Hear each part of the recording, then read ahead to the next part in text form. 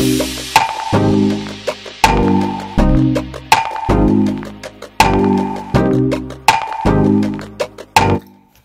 y'all, real quick. So, I came to bring you the outfit of the day. It is early in the morning.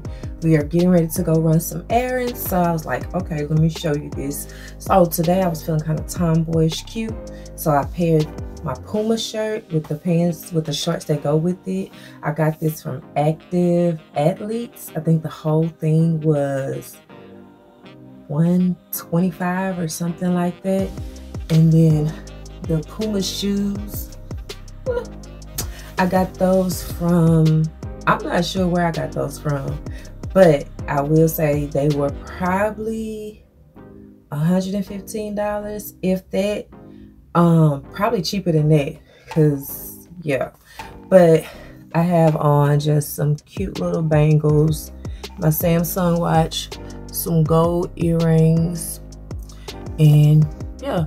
Oh, hair hair is from Amazon. Y'all, I'm loving this hair.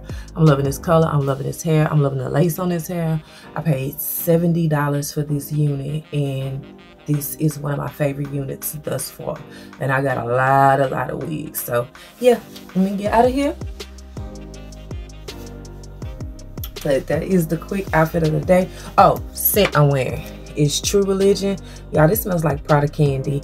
This was gifted to me by someone, but this is True Religion. So yeah, I will see you guys in the next one. Peace.